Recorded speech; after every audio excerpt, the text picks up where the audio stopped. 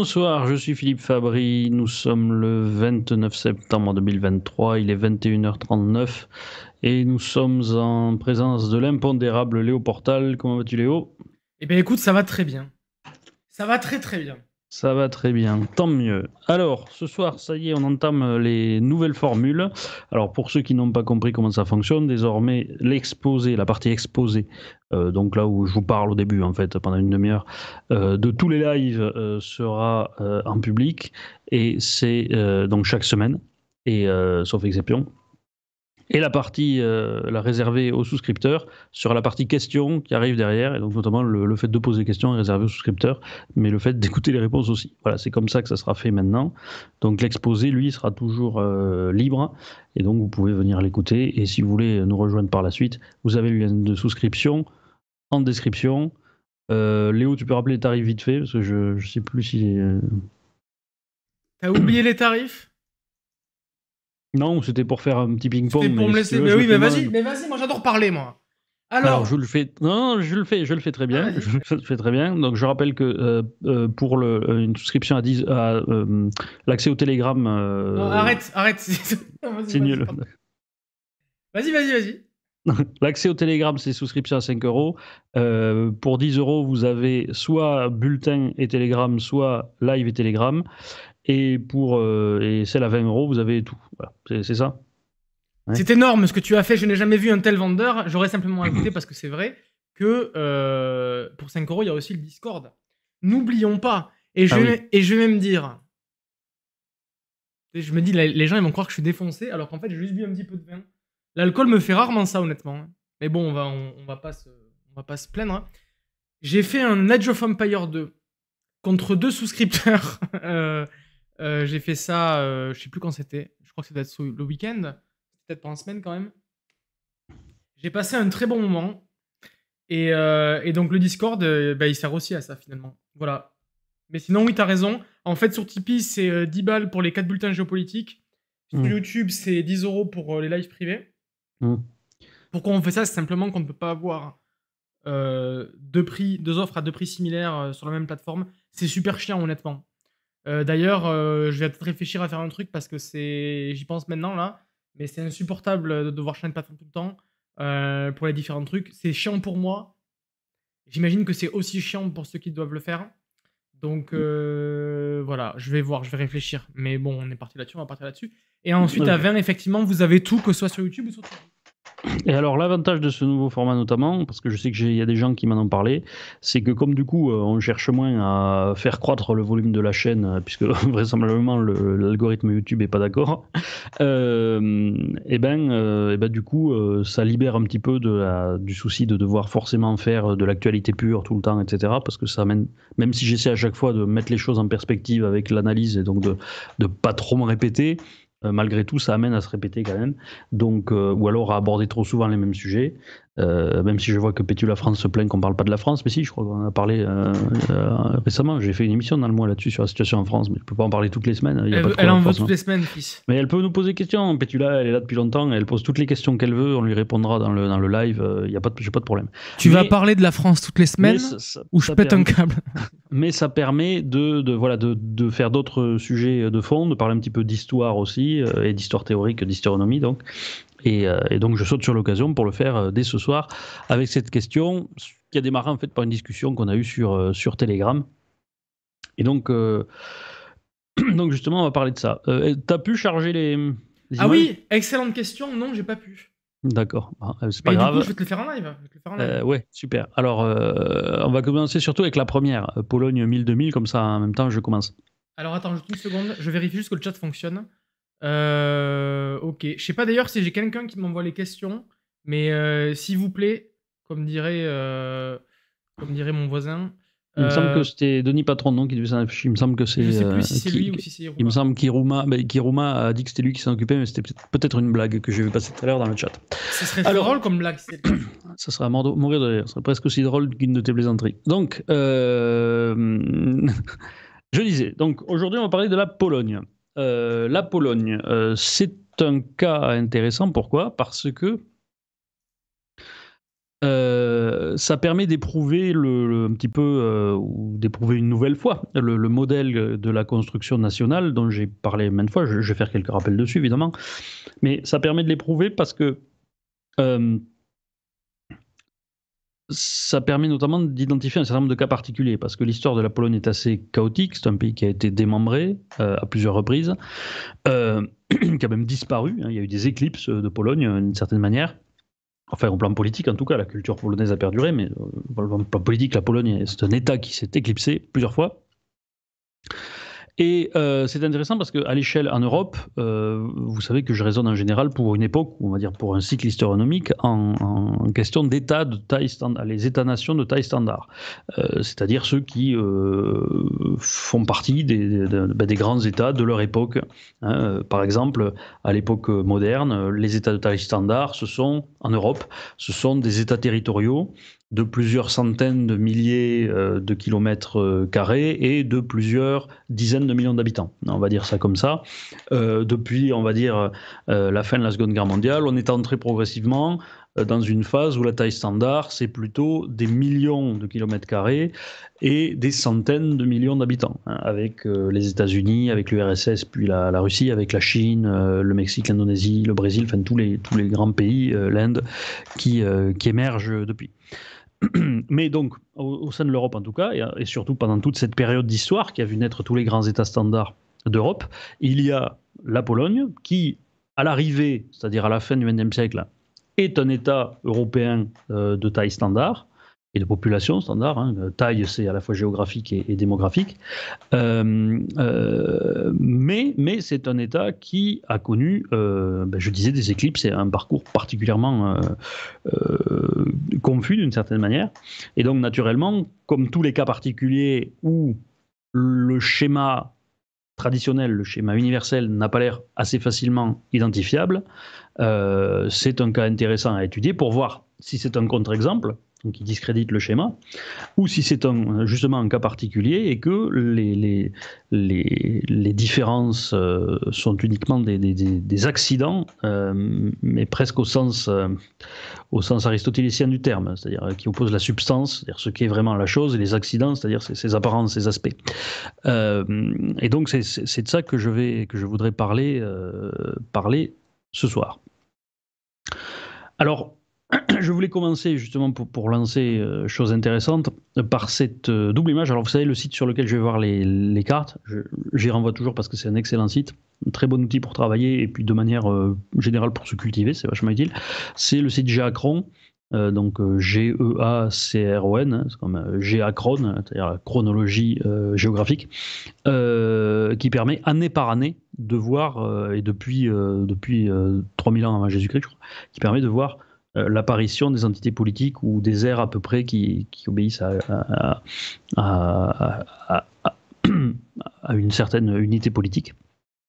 Et donc c'est extrêmement pratique quand on veut avoir une vision, euh, quand on veut visualiser les choses. Et alors il y a une chose très importante, très intéressante donc à propos de ça, c'est que si vous regardez donc les frontières de la Pologne, euh, du royaume de Pologne à peu près autour de l'an 1000, et que vous regardez les frontières de la Pologne aujourd'hui, vous apercevez que la forme euh, générale est quand même très proche, elle a très peu bougé. Euh, et, donc ça, ça, renvoie, si vous voulez, hein, toujours pareil, à cette idée dont je parle souvent, et qui est fondamentale dans la construction des grands États-nations territoriaux, qui est, mais c'est aussi le cas pour les, pour les cités-États, hein, par exemple à l'époque de l'Antiquité, je, renvoie à l'émission que j'avais fait sur, sur les cités grecques. Euh, c'est ce que j'appelle le déterminisme ethno-géographique. C'est-à-dire, vous avez une ère à la fois obéissant à des considérations géographiques, c'est-à-dire avec certaines frontières naturelles, et obéissant à des questions culturelles et ethniques, c'est-à-dire la présence d'une certaine population qui va partager une langue, etc. Et donc ça, ça crée une espèce de permanence fondamentale qui agit sur la longue distance temporelle comme une forme d'attracteur pour l'apparition des grands États-nations. Naturellement, parce que tout simplement, ça fait un terreau fertile, si vous voulez, qui, crée, si vous voulez, un ensemble cohérent euh, qui va faciliter le travail de construction de l'État-nation ben, un peu de la même manière que si vous versez de l'eau par terre, l'eau naturellement va aller directement dans les sillons qui favorisent son écoulement. Ben, voilà, c'est pareil, si vous voulez, au plan intellectuel. Euh, les, ces, permanences ou ces, sous-jacents euh, ethnoculturels sont comme des, sillons qui, qui, qui, euh, qui favorisent la construction d'un État-nation. Alors je vous rappelle, oui. Est-ce que tu es prêt à dire aujourd'hui, devant les spectateurs, que l'eau s'amouille? Bah, Non, s'il te plaît, non. pas prêt à dire ça? Non. Quand c'est euh, évident, c'est bien dommage. Tu vas encore te faire engueuler dans les commentaires, toi. Tu sais bien que j'en ai pas grand-chose à carrer. Je sais, je sais. Euh, donc, ce qu'il faut bien comprendre, euh, on va repartir pour euh, et quelque part ça me sert de, transition, euh, ou plutôt de, de, pause humoristique, avant d'embrayer sur le chapitre suivant. Chapitre suivant, rappel de comment fonctionne la construction des États-nations. Alors je rappelle que la construction des États-nations, c'est quelque chose qui se fait donc sur le temps long, hein, qui est favorisé par ce sillon euh, ethnogéographique, on va dire, et alors, tu n'es pas obligé d'enchaîner encore sur, la, sur les, les, En fait, tu peux mettre effectivement la première carte suivante de la Pologne. Ça, c'est la Pologne en 1200. Euh, voilà, tu as remis la première très bien. Donc, euh, voilà. Non, mais c'est bien, bien d'avoir les premières 1000, 2000 parce que ça permet de, voir le, la durée. Donc, cet espace euh, va progressivement faire son unité politique sous un pouvoir central, qui est un pouvoir à la base, un pouvoir de type plutôt féodal, éclaté, et au sein de cet ordre féodal, on va dire, euh, va naître un ordre politique autour d'une figure qui, va, qui, qui d'abord euh, émerge, si vous voulez, de ce milieu féodal, qui est en général euh, une espèce de royauté primus inter pares, hein, le premier entre les pairs, et qui progressivement se construit comme la tête d'un État qui va devenir de plus en plus euh, pyramidal. Et comment est-ce qu'on sort de l'ordre féodal en une première étape? C'est avec l'apparition euh, d'une première assemblée représentative à l'échelle de ce qui sera, puisque ça n'est pas encore à ce moment-là, de ce qui sera l'échelle nationale. Hein. Vous savez que c'est le cas des États généraux euh, euh, en France en, 1302, euh, en 1295 c'est le Parlement modèle en, Angleterre, le Zemski Sobor russe en 1549, la Grande Diète d'Empire de 1495, etc. Bon. Et il est possible de voir émerger cette assemblée à partir du moment où, en préalable, il y a eu un premier mouvement qui va favoriser la sortie de l'ordre féodal, puisque l'ordre féodal, c'est l'ordre qui préside à une société complètement éclatée, où on est essentiellement dans une économie de subsistance, avec très peu d'échanges marchands, et où il y a très peu de nœuds urbains. Hein. et le, fait qu'un premier ordre féodal équilibré, c'est-à-dire où vous avez, euh, comme ça, dans des frontières à peu près constantes, euh, un ordre féodal qui se met en place autour d'une monarchie qui est encore primus inter pares, mais qui maintient la paix dans tout cet ordre-là et qui fait que euh, les gens ne se tapent pas trop dessus, c'est relativement équilibré. L'équilibre va favoriser une première fois les échanges internes, le dégagement de surplus, la croissance démographique et donc l'émergence, l'apparition de, des premières villes, les premiers centres urbains, qui vont devenir des lieux d'échange marchands, et donc l'enrichissement d'une première classe de bourgeois.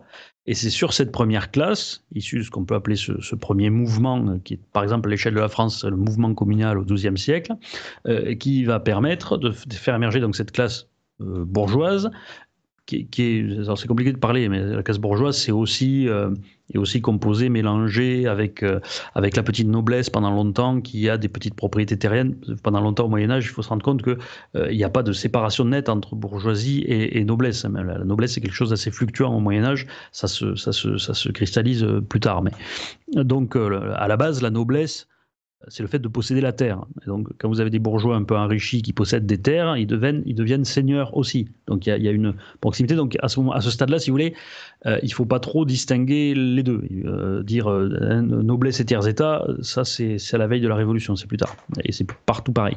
Donc, y a, pour l'instant, c'est, disons, l'émergence d'une classe comme ça, qui commence à être un peu éduqué et qui commence à vouloir, qui n'est pas la noblesse féodale en revanche traditionnelle ou qui s'y rattache, mais qui est enrichi. Donc ces gens-là veulent eux aussi avoir leur part de gouvernement et le pouvoir central va s'appuyer sur eux pour sortir de l'ordre féodal justement en créant finalement une sorte de, d'embryon euh, d'État administratif.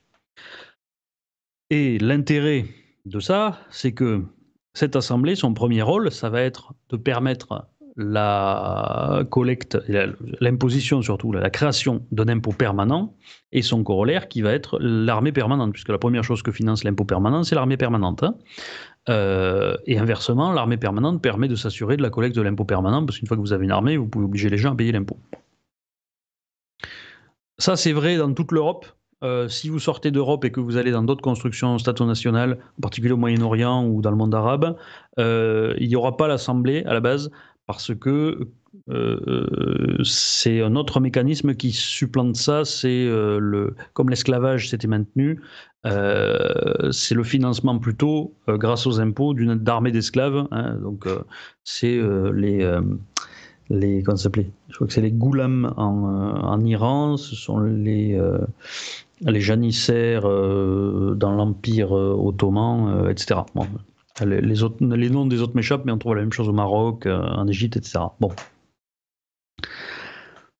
Donc, cette construction, euh, ça c'est la première étape de construction nationale. Ça, ça permet de lancer le mouvement donc, dans lequel l'État va rester euh, euh, relativement de plus en plus centralisé, grâce parce que cette, cette existence d'une armée permanente, naturellement, euh, fait complètement sortir de l'ordre féodal, et c'est désormais celui qui détient le pouvoir central, généralement un monarque, qui va euh, tenir tout le reste. et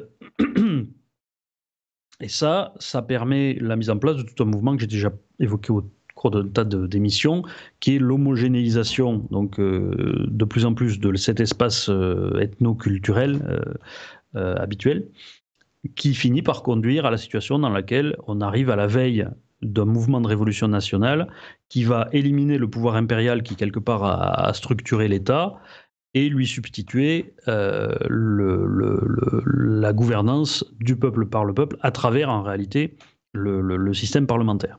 Euh, et c'est à l'occasion de cette mutation de révolution nationale qu'il y a un impérialiste revanchard euh, ou en tout cas un proto-impérialiste revanchard, si, euh, si l'État en considéré n'est pas suffisamment puissant pour essayer de dépasser de ses frontières. Donc je rappelle, un, impérialiste revanchard, un vrai, quand vous avez un État de premier plan comme la France napoléonienne, l'Allemagne hitlérienne, mais ben, ça donne une explosion très importante. Euh, quand vous avez un État de seconde zone un petit peu comme l'Espagne de Franco, par exemple, ben, ça, ça reste juste un régime autoritaire qui va durer une trentaine d'années avant d'avoir la transition parlementaire. Voilà. Donc voilà comment ça, c'est le schéma habituel. alors, c'est sûr, si on regarde l'histoire de la Pologne, si on regarde l'histoire de la Pologne, c'est pas exactement ce qu'on voit. Et alors là, on va reconstituer cette histoire rapidement, donc à travers la succession des cartes, si M. Portal est disponible pour le faire.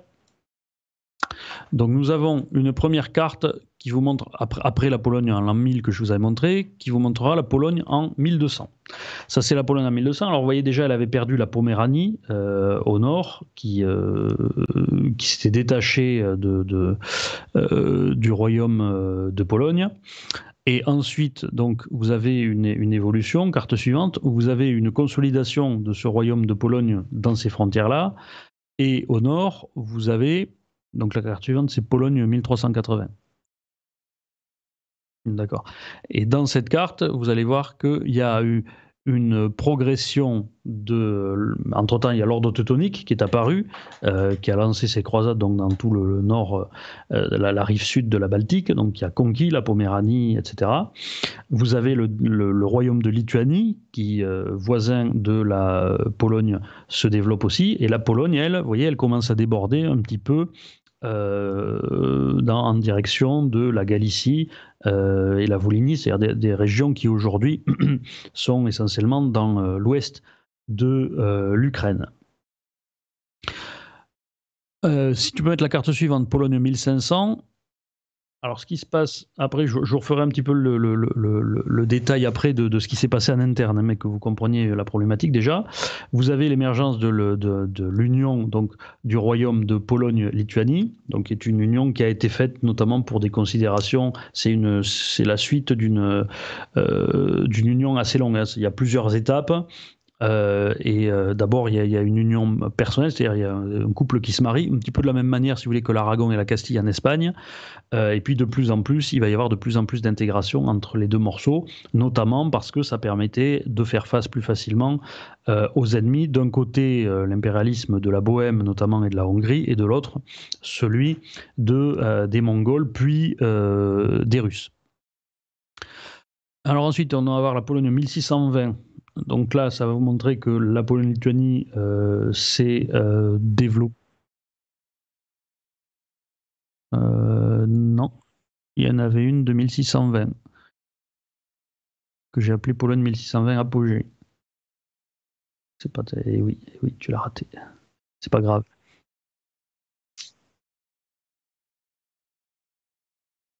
Je te les ai envoyés tout ensemble. Le problème, c'est que le, logiciel, il les met euh, en, ordre bizarre.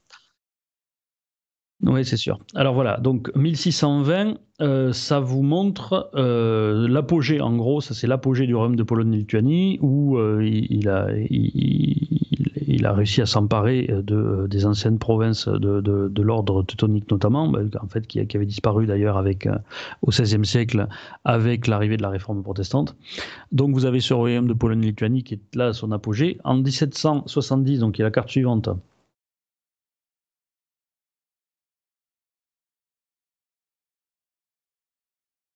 Le carton donc 1770, vous voyez euh, les premières difficultés de la Pologne, euh, enfin de ce grand royaume de la République des deux nations, qui commence à être confronté à la Prusse euh, et à la Russie. Le Prusse qui à ce moment-là est une puissance grandissante, qui a, été victorieuse dans la guerre de Sept Ans aux côtés de l'Angleterre contre la France, donc qui est en pleine émergence hein, sous le règne de, Frédéric II.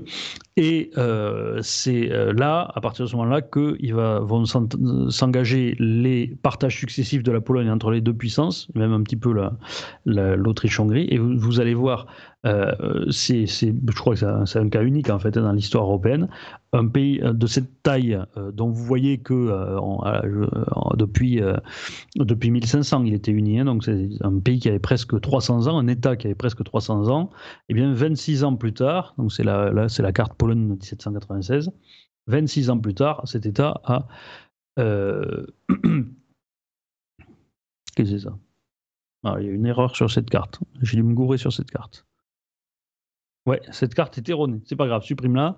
Euh, euh, il y a un problème. Bon, c'est pas grave. Euh, j'aurais dû la. De toute façon, vous, vous pourrez voir autrement. en tout cas, dites-vous bien que la Pologne n'est plus. voilà. Voilà, j'aurais mon micro pour dire. gentil. Si, si, si, si. Non, mais je vais moquer toi, mais avec un, détour, tu vois. Si vous saviez quand Philippe envoie des cartes préparer une émission, le niveau de tiers-monde de, l'envoi des cartes, c'est chaud. Surtout quand on sait tout ce que ça comprend de préparer une émission. Voilà. voilà ça, a été un peu dernière minute. Bon, c'est pas grave. De toute façon, la, la dites-vous bien que simplement, elle n'existe plus, la Pologne 1796. Elle a été mangée par euh, la, la Russie. Il me dit elle a été mangée par Nota Bene. C'était très. C'est dommage, elle est très bonne celle-là. Elle est très bonne. Donc, allez, trêve de plaisanterie. Euh, donc, la Pologne a complètement disparu. Alors, ensuite, je vous ai mis Pologne 1814. Celle-ci, elle est bonne. Euh, parce qu'elle elle vous montre euh, l'apogée du Grand-Duché de Pologne tel que reconstitué par Napoléon, parce que d'abord il a été plus petit que ça, puis ensuite il a grossi.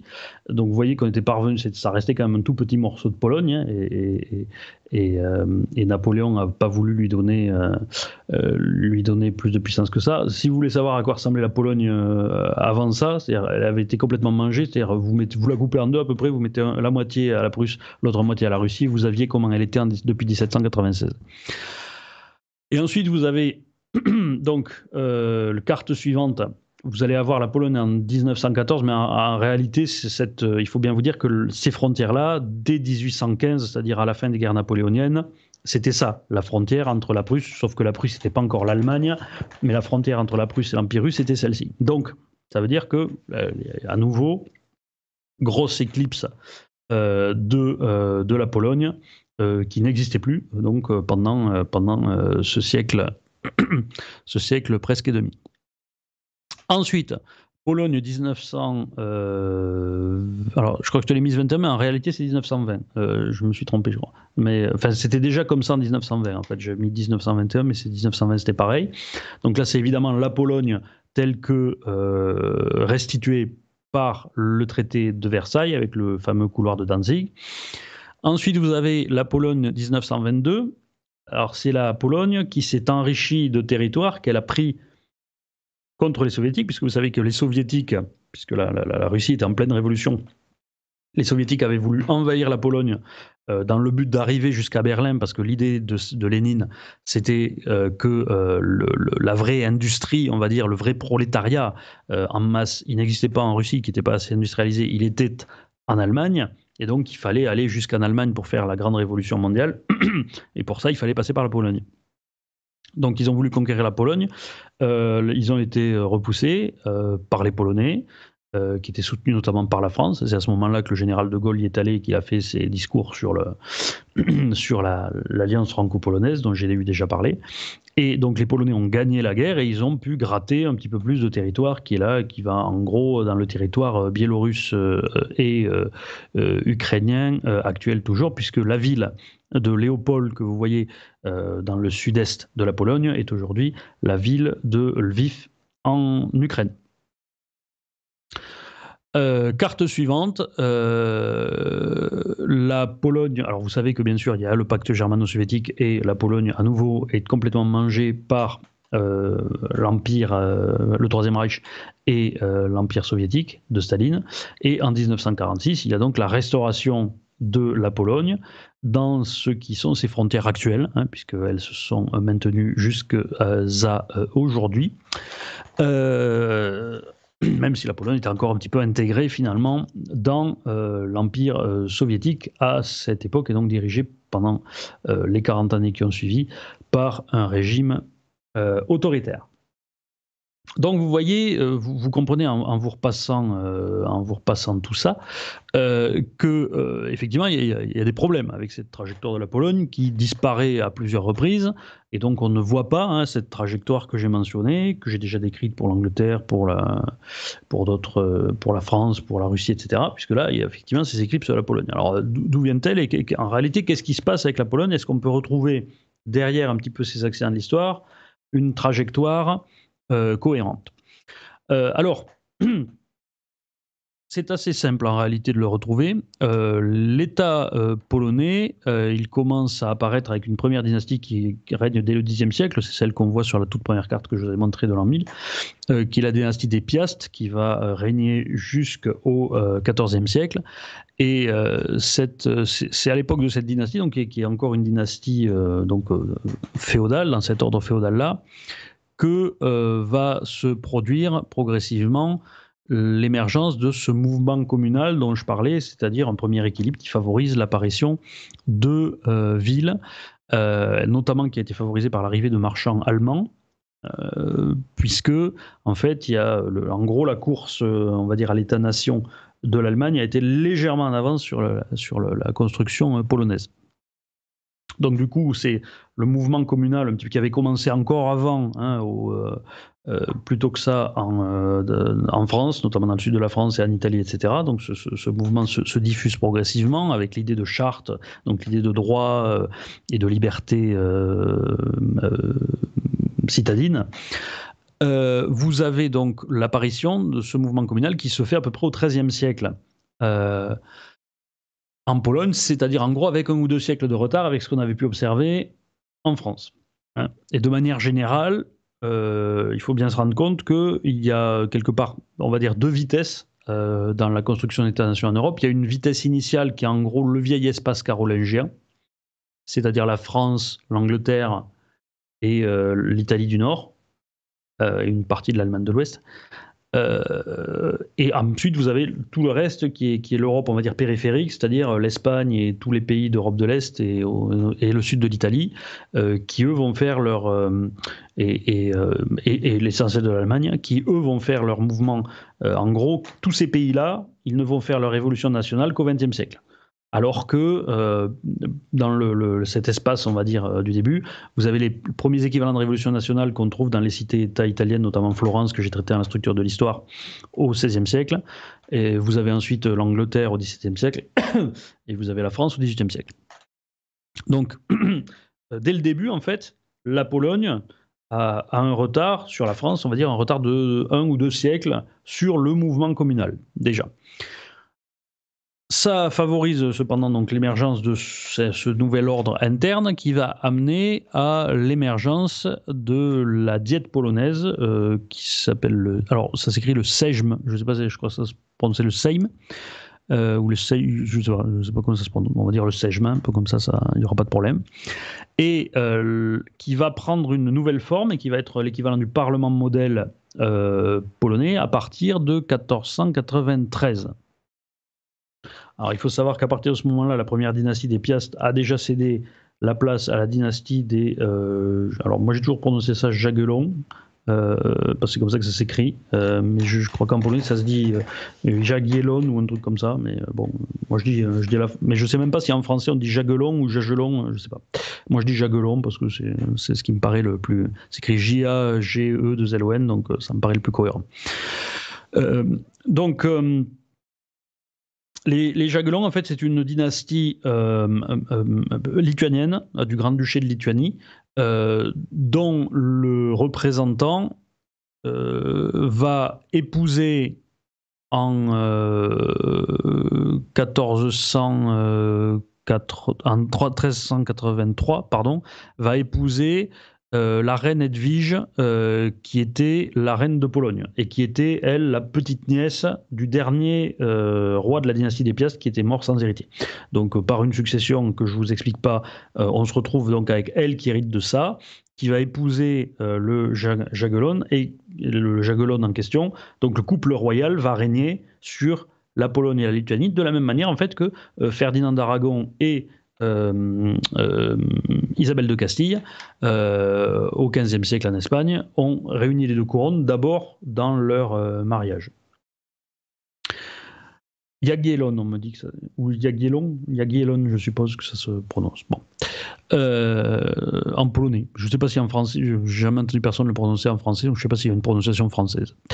donc, euh, voilà donc pourquoi il y avait eu un changement de dynastie et voilà comment s'est faite cette union donc par un mécanisme assez donc qui existe dans d'autres pays qui est un mécanisme d'union personnelle d'abord euh, de deux couronnes comme on le voit aussi euh, par exemple avec la couronne d'Écosse et la couronne anglaise ensuite en, Angleterre etc c'est pas c'est pas ça existe souvent. Et quand ça se fait quand ce genre de choses intervient dans un espace qui a une certaine unité ethnogéographique, eh bien naturellement, ça produit une espèce d'effet blob et l'apparition d'un État qui va être euh, général et plus large. Mais euh, il y a quand même une petite particularité polonaise. C'est que euh, d'habitude, donc, cette construction nationale, je vous ai dit, favorise une centralisation et une, une puissance, on va dire, de l'État central, du monarque en Pologne, euh, cette émergence de la République des deux nations euh, va avoir un effet de renforcement euh, de la noblesse contre le trône, justement. Alors pourquoi, d'où est-ce que ça vient? Alors la façon dont je l'interprète moi, tout simplement, c'est que l'espace lituanien, qui allait assez loin à l'est, euh, dans des endroits qui étaient beaucoup moins civilisés au sens premier du terme, c'est-à-dire qu'il y avait beaucoup moins de villes, donc qui étaient encore en retard dans leur développement euh, du mouvement communal, de ces choses-là, de ces classes, de cette autre classe euh, bourgeoise, étaient en retard sur la Pologne elle-même. Et donc ça veut dire que l'union en fait des deux couronnes, à l'échelle globale, a provoqué une espèce de régression par rapport à l'état d'urbanisation, on va dire, qu'avait atteint la Pologne toute seule. Et donc, naturellement, ça a ramené quelque part la monarchie en arrière dans sa puissance, en redonnant un poids relatif à l'aristocratie foncière féodale. Et donc, ça a créé un ordre dans lequel elle avait un pouvoir particulier. Euh, et en plus, il y a eu ensuite euh, des petits concours de euh, circonstances, puisque le, la constitution de la République des Nations, il faut bien savoir, en fait, ça se fait, euh, alors ça, se fait progressivement, hein, mais les premières institutions véritablement euh, qui, commencent à associer les deux, euh, c'est à la fin du XVe siècle. Donc je vous ai dit qu'il y avait notamment le, le, polonais. Euh, il y avait l'équivalent qui était le Seimas du, je pense prononce comme ça, euh, ça s'écrit comme ça, euh, du Grand-Duché de Lituanie, et c'est les deux qui ont été associés pour former les institutions polonaises. C'est intéressant parce qu'on trouve la même chose dans un cas, un autre cas, qui est par exemple l'Union de Kalmar. L'Union de Kalmar, c'était l'union de la Scandinavie au XIVe, XVe siècle, qui rassemblait sous une seule couronne en fait le Danemark, la Suède et la Norvège. Et euh, les deux se sont, euh, se sont dissociés en cours de route. Et ensuite, vous avez eu deux trajectoires nationales, un côté Suède, un côté Norvège, un côté Danemark, pardon. La Norvège s'est détachée plus tard. Mais voilà comment, euh, comment ça s'est fait? Donc, c'est pas des choses qui sont inconnues. La, Pologne n'est pas euh, une exception totale. De ce point de vue-là, on retrouve des mécanismes euh, qu'on a trouvés dans d'autres pays, dans les unions des couronnes, sur ce qui ressemble quand même à un même espace, on va dire, ethnoculturel. La Scandinavie avait le même euh, problème. Et pareil, là aussi, vous aviez des institutions très voisines, puisque vous avez le premier équivalent des États généraux, on va dire, en Suède, c'est le Riksdag euh, qui est convoqué pour la première fois en 1436, alors que la première occurrence des États généraux au Danemark, c'est le Riksdag, euh, qui lui est euh, convoqué en 1468, ça me dit la première fois. Donc l'Union de Kalmar a encore duré quelques temps, mais si vous voulez, ça veut dire que pendant ce temps, vous aviez les deux parlements hein, en Suède et au Danemark.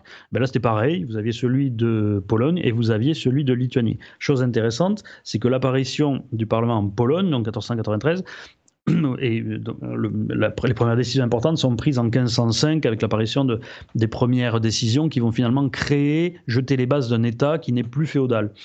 Euh, et donc, en fait, ça va être l'équivalent de ce qu'a été la Reichsreform lancée par Maximilien Ier du Saint-Empire, donc Saint-Empereur romain germanique, après la diète de 1495, qui est l'équivalent des États généraux pour l'Allemagne. Donc, ça veut dire que la Pologne, là encore, avait toujours euh, à peu près euh, deux siècles de retard sur la France et l'Angleterre, qui étaient euh, en tête de peloton, même si la France, entre-temps, avait ralenti à cause de, à cause de la guerre de Cent Ans. Mais enfin, vous avez quand même, le, vous avez quand même la même temporalité à la base. Et donc la Pologne, elle, elle, est en retard donc de ça sur la France, mais elle est à peu près sur le même tempo que tout le reste de cette Europe périphérique, et donc notamment l'Allemagne, donc avec ce mouvement qui commence fin du XVe siècle l'unification véritablement de la République des deux nations, dans cet ordre, donc je disais, dans lequel la, noblesse a plus de poids, elle se fait avec euh, l'union de Lublin euh, en 1569. Et là, vous avez carrément euh, une, fusion du Sejm, polonais et du Seimas, d'ailleurs on veut dire Sejm, je pense, pour que ce soit plus proche du Seimas, Sejm et du Seimas de Lituanie, qui vont devenir une seule un seul euh, élément de gouvernance, donc avec, euh, avec, avec deux chambres. Il y avait un, Sénat et donc qui est une chambre haute finalement et une chambre basse qui est la Chambre des députés. ce qui est une chose, alors qu'on voit, qu'on ne trouve pas vraiment en France, sauf si on considère que le Conseil des Pairs était une chambre haute pendant longtemps, mais il y avait surtout que les États généraux. mais bon, il y avait le Conseil royal. En général, le Conseil royal, c'était là que les les vraiment gros, les grands du royaume étaient réunis. Vous aviez les grands d'Espagne qui fonctionnaient comme ça aussi. Dans les pays scandinaves, c'est plus net, c'est plus institutionnellement incarné, puisqu'à côté du Riksdag et du Riksdag, vous aviez le Riksrad et le Riksrad, euh, qui étaient tous les deux des euh, conseils aristocratiques, donc des chambres hautes finalement, qui existaient, euh, qui dataient de l'époque féodale et qui s'étaient de plus en plus institutionnalisés parallèlement à la représentation plus alors, démocratique n'est pas le bon mot parce que ça restait euh, des élites locales, mais bon, euh, ces trucs de, de, de, notables, hein, en fait, ces assemblées de, notables. Donc finalement, euh, si vous voulez, là, on, trouve, on est typiquement dans la construction, dans le cheminement de construction nationale normale. Alors, il y a eu un petit accident après 1569, parce qu'en fait, ce qui s'est passé, c'est que le. Je recherche mes notes.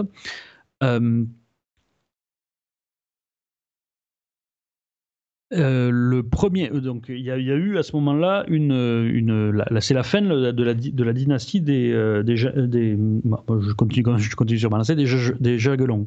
C'est la fin de leur dynastie. Donc le dernier meurt et donc à partir de là, on part sur une parce que le dernier roi, c'était Sigismond II. C'est lui, quelque part, qui réussit la fusion de la, République des Nations, mais il meurt et sa, euh, sa, sa, dynastie ne lui survit pas. Et donc, à ce moment-là, euh, c'est la noblesse, quelque part, qui prend le pouvoir en décidant d'instaurer une monarchie élective. C'est-à-dire, en fait, en réalité, c'est pas d'instaurer une monarchie élective. Tout, de suite, on a tendance à, extrapoler ça comme une espèce de, de complot de vision. La réalité, c'est que c'était généralement ça ce qui se passait quand on se trouvait dans une situation euh, où la monarchie, euh, où vous aviez un intérêt, où il n'y avait plus personne, naturellement, c'était les grands du royaume qui étaient censés choisir le successeur.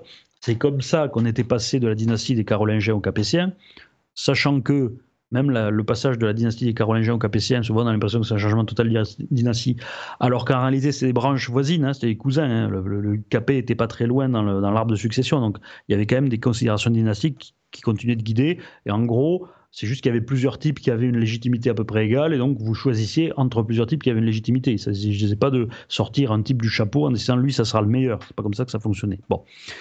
Donc là, c'est pareil, en fait, on décide de, d'élire quelqu'un. Bon, ils avaient moins de candidats évidents, et donc dans ces cas-là, le meilleur moyen pour se mettre d'accord, c'était de d'élire un prince étranger. Et donc, en l'occurrence, ils ont élu, Cocorico, euh, Henri, prince de France, qui était le futur Henri III en France, donc qui a été élu roi de Pologne, euh, qui est parti donc en 1573 pour aller régner sur la Pologne, et en 1575, quand son euh, frère aîné Charles IX est mort, euh, eh bien, il est reparti en France et il a abandonné son trône de Pologne. Il faut savoir que c'était pas très, pas très réglo comme façon de faire, mais euh, effectivement, c'était quand même carrément plus prestigieux à l'époque d'être roi de France que d'être roi de Pologne. Et donc, euh, donc il s'est barré, il s'est enfui pour euh, venir régner en France. Alors, c'est pourquoi c'est intéressant?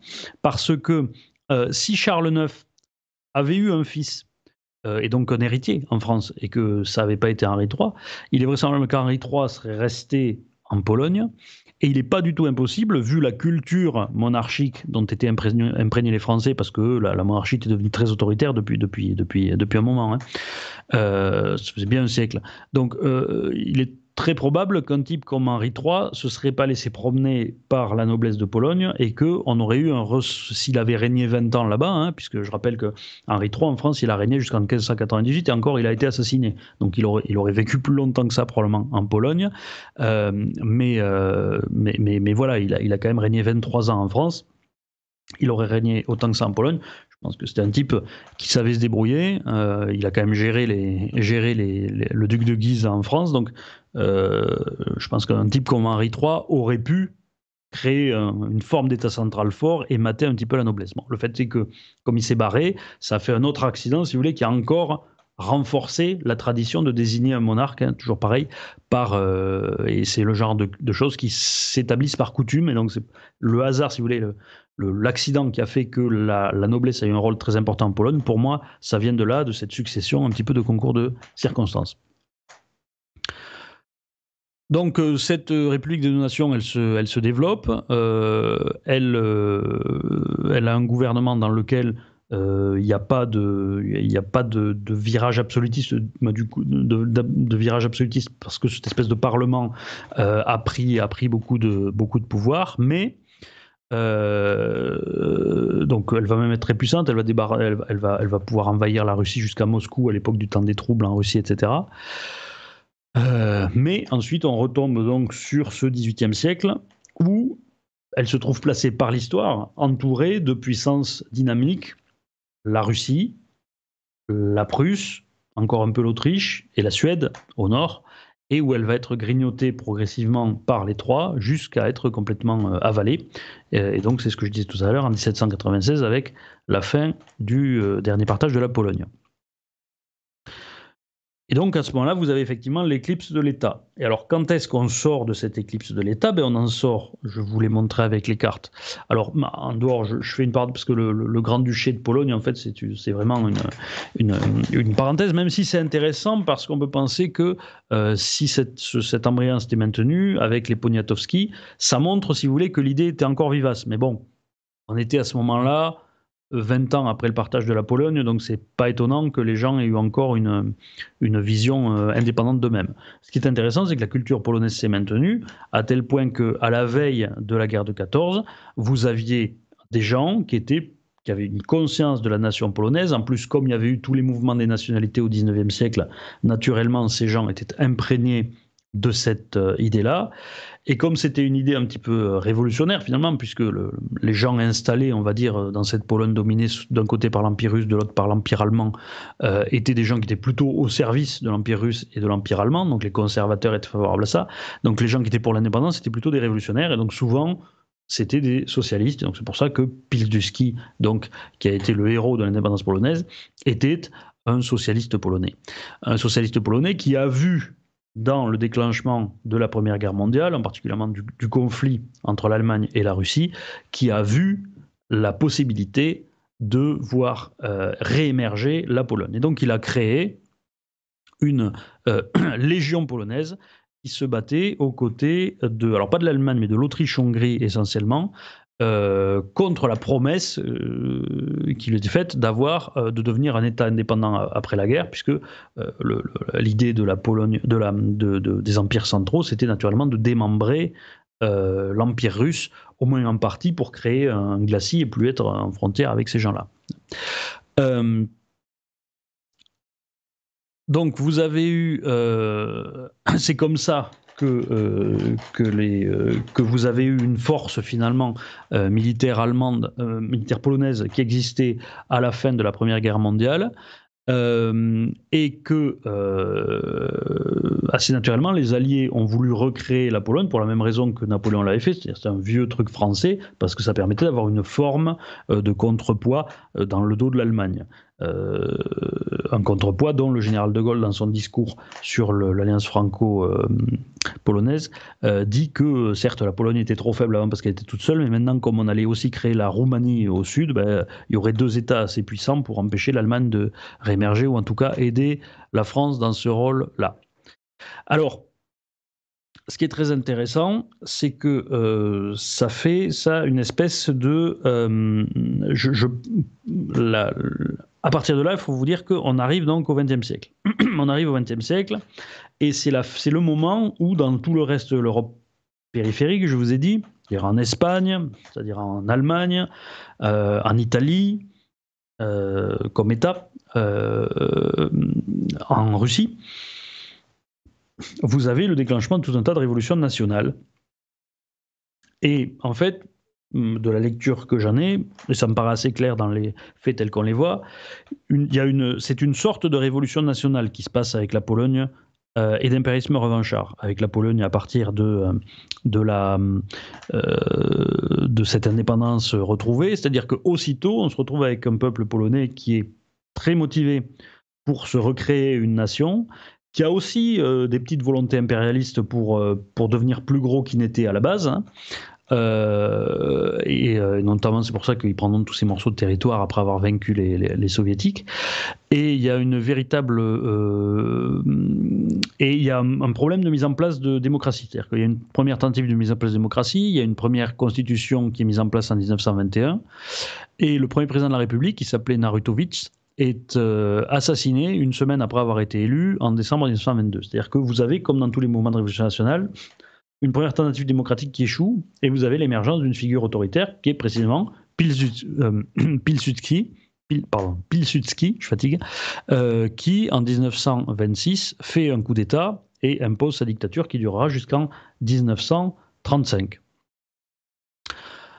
Euh, et donc vous avez un régime militaire et l'idéal qui n'a pas pu être mené à bien, mais qui était l'idéal de la de la Pologne de, Pilsudski, c'était la création d'un espace qui était euh, la fédération, je, vais le prononcer mal donc tant pis, la fédération, la c'est-à-dire la fédération entre les mers, qui est aujourd'hui encore le projet d'Intermarium, vous savez, d'initiative des trois mers, à travers laquelle la Pologne cherche à établir une espèce de, ben, tout simplement à devenir le leader de cette zone qui était la zone de domination du royaume de Pologne et Lituanie à son apogée. Euh, sauf que, sauf que donc cet impérialisme revanchard, on va dire polonais, il s'achève dans l'écrasement total par euh, ben, le, pacte germano-soviétique, qui ramène une séquence d'une euh, cinquantaine d'années euh, d'autoritarisme, donc que je mentionnais plus tôt, et finalement euh, ce qui, alors là la question se pose, est-ce que ce à quoi on assiste depuis 1989 est une nouvelle révolution nationale, auquel cas elle doit comporter un peu d'impérialisme revanchard? Même si c'est un impérialisme revanchard assez modéré, puisque vous savez que souvent les, répliques, déjà d'une part, les répliques d'impérialisme revanchard sont plus molles que les précédentes. Hein. Euh, général Boulanger pour la France, ensuite le général de Gaulle, euh, mais en plus, euh, bah, il y a des cas où, où c'est pas forcément moins mou, hein, par exemple Poutine, puisque le deuxième critère, c'est ce que j'appelle la masse stratégique relative, c'est-à-dire la, puissance de l'État par rapport à ses voisins qui lui permet ou non de se d'avoir certains rêves de puissance ou pas, hein, ou alors ces rêves restent juste justement des rêveries. et vu que la Pologne, malgré tout, même si c'est un État euh, de taille globalement standard, ça reste quand même un État de taille standard plutôt petit à l'échelle de l'Europe, deux fois moins peuplé que son voisin allemand et euh, quatre ou, cinq fois moins peuplé que son voisin euh, russe, voisin stratégique on va dire, puisqu'il y a la Biélorussie entre les deux, enfin ils sont voisins quand même à Kaliningrad. et puis ensuite, bien sûr, au plan économique, même si la, Pologne s'enrichit, il y a un des plus forts taux de croissance d'Europe depuis des années, euh, ça reste quand même un, PIB qui n'a pas les dimensions euh, euh, des, pays voisins. Donc c'est un pays malgré tout qui est en phase d'armement. et peut-être que dans le... parce qu'il n'y a pas vraiment de dérive autoritaire, hein. il n'y a pas eu de dictature militaire en Pologne, la Pologne reste une démocratie fonctionnelle. quelque part que le, relatif regain d'autorité conservateur on va dire, euh, avec le, euh, parti euh, PIS, eh bien, est simplement une, forme très très molle, on va dire, d'impérialisme revanchard, assez similaire finalement au gaullisme, on va dire, des années 60. je pense qu'on est peut-être sur quelque chose, quelque chose qui serait de cet ordre-là. Euh, et qui fait que euh, voilà, la, Pologne est plutôt euh, dans une phase ensuite qui devrait être de, transition vers un régime parlementaire qu'elle a déjà en fait, puisque la, fonction, il n'y a pas d'écrasement des institutions par la fonction présidentielle en Pologne. Le, le, le, Premier ministre a vraiment un rôle très très important, donc c'est quand même d'ores et déjà un régime parlementaire. Donc on est plutôt sur une évolution façon euh, façon Troisième République. Euh, c'est-à-dire, je vous rappelle que dans la Troisième République, il aurait dû y avoir un impérialisme revanchard qui a eu lieu avec le général Boulanger, mais le général Boulanger a perdu, notamment parce que la situation euh, du pays économique, etc., était assez favorable. Donc je pense qu'on a eu une transition qui a été similaire en Pologne, c'est-à-dire qu'il y aurait pu y avoir une forme d'impérialisme revanchard, d'impérialisme revanchard si les choses s'étaient très mal passées au plan économique dans les années 2000, on va dire, en Pologne. Mais comme il y a eu l'Union européenne, comme il y a eu euh, un développement économique important et comme il n'y a pas eu de menace extérieure très importante à ce moment-là qui aurait pu déstabiliser le processus démocratique, eh bien, on a eu une installation d'un régime parlementaire qui euh, se fait. Je dirais que euh, la Pologne, au plan institutionnel, est à peu près au, à l'état où on devait être nous dans les années 1890-1900, quoi. Quelque chose, quelque chose comme ça. donc tout ça pour dire que ben, clairement la trajectoire euh, nationale de construction en Pologne, on la voit, et que finalement les éclipses qui ont eu lieu à deux reprises euh, au 19e siècle et ensuite, on va dire dans la deuxième moitié du 20e, euh, enfin, c'est pas une, éclipse d'ailleurs, dans la deuxième moitié du 20e siècle, enfin, pendant la Seconde Guerre mondiale. Bon, la Seconde Guerre mondiale, éventuellement, c'est en, c'est plutôt une invasion temporaire, on va dire, une occupation, euh, même si ça se poursuit avec l'occupation euh, soviétique, on va dire, mais qui avait redonné. Donc c'est pour ça que ça, je ne pense, de manière générale, on l'observe historiquement, euh, le fait que l'entité politique soit reconnue, même si elle est occupée par une puissance étrangère, ça peut lui permettre de maintenir son, sa progression, on va dire, intérieure. Donc c'est pas surprenant que ça, ça n'est pas poser d'autres problèmes que euh, le fait que je disais de, nécessiter une autre évolution pour ressortir d'un régime autoritaire. Par contre, effectivement, euh, ça peut paraître surprenant, mais c'est le cas, le fait qu'il y ait eu une destruction de l'État polonais entre la fin du XVIIIe siècle et le début du XXe siècle n'a pas empêché euh, que cette trajectoire se maintienne et arrive à son terme et que finalement, ce pays qui avait commencé véritablement la construction nationale, c'est-à-dire avec, avec la première représentation nationale à peu près au même moment que l'Allemagne, et eh bien finalement devient effectivement un État-nation et fait sa révolution nationale à partir de dans les années 1920, c'est-à-dire exactement en même temps que l'Allemagne et que l'Italie aussi et que l'essentiel du reste de l'Europe périphérique. Voilà donc quelle est mon, mon analyse, on va dire historionomique de l'histoire de la Pologne, qui montre que euh, dans le spectre de la construction nationale, il y a encore un certain nombre de, cas particuliers qui peuvent exister, qui n'empêchent pas que, euh, pour moi, ce schéma est, euh, véritablement universel. Euh, voilà ce que je voulais vous dire sur ce sujet. je pense que j'ai dit tout ce que je, tout ce que j'avais prévu. le live public va prendre fin ici. Léo va lancer le deuxième live qui est en lien pour ceux qui, euh, pour les souscripteurs, euh, en description. Euh, quant aux autres, je vous remercie d'avoir passé cette, cette petite heure avec nous. Je vous dis à bientôt et surtout ne vous laissez pas faire. Pour info quand même, pour que tout le monde ait bien l'info. pour ceux qui sont souscripteurs sur YouTube, qui ont donc accès au live, que ce soit à 10 ou à 20 euros par mois, le lien est dans la section communauté, mais accessible qu'à ceux qui sont abonnés donc. Et pour euh, Tipeee, qui est donc accessible là que à ceux qui payent 20, je sais que ça semble bête, mais comme j'ai dit au début, c'est parce qu'on ne peut pas doubler les prix. on ne peut pas mettre deux fois le même prix sur la même plateforme.